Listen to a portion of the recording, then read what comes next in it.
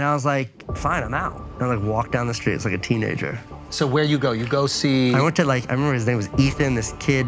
I like called him from the payphone. I was like, can I stay with you? And he has like hippie parents. He's like, yeah, you can come sleep over. And I stayed with him for a few days. And then I met these two girls who were like 18. They had their own apartment. Oh shit. And like, you can stay with us. And I like moved in with them. So you rizzed two 18-year-old girls to the point where they just let you move in. Yeah, and then like 30 seconds later, one of them was pregnant.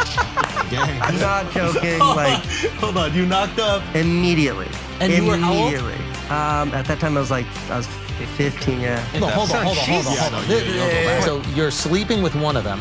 Was that like tricky? to you hit on her? I haven't thought in those terms in a long time because it's like she was this like hot teenager and I was this kid for like this much of And then you our life, became and then for this much of our life, we're just like adults together sharing this responsibility of being Yeah. parents.